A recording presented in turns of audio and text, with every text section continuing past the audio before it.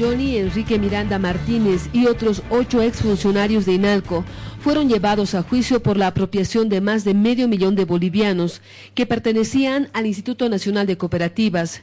El juez Octavio Apaza confirmó que Miranda Martínez, que sería esposo de la ministra de Transparencia Nardi Suxo, fue absuelto debido a que el fiscal Roger Velázquez retiró la acusación que beneficia a otros tres procesados en este caso, principalmente por el delito de peculado. Entonces, si no hay acusación, no habría juicio.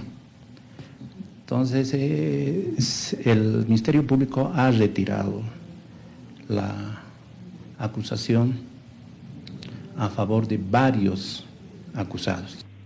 El presidente del Tribunal de Sentencia 3 explicó que este viernes, cuando se lea la sentencia completa, su autoridad dará a conocer de manera detallada las causas por las que absolvió a la pareja de la autoridad gubernamental y otros sindicados.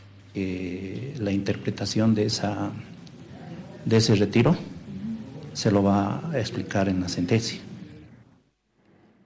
El senador Roger Pinto habla de dos justicias, una implacable para la oposición y otra tolerante para las personas afines al movimiento al socialismo. Presentó con diapositivas documentos que involucran a Johnny Antonio Miranda Martínez, exdirector ejecutivo regional de Inalco Santa Cruz. Asegura que el sindicado fue esposo de la actual ministra de Transparencia Nardi Suxo. Señala que el exfuncionario se habría apropiado de dineros que deberían ingresar a fondos públicos de Inalco. La suma, según la denuncia de Pinto, ascendería a más de 500 mil bolivianos, monto que debió ser depositado en una cuenta fiscal para gastos de educación y salud, tal como señala la ley de cooperativas. El tráfico de influencia, la protección a delincuentes confeso, se la hace desde el propio Ministerio de Lucha contra la Corrupción. La única duda que me queda a mí es si el presidente y el vicepresidente conocen estos hechos.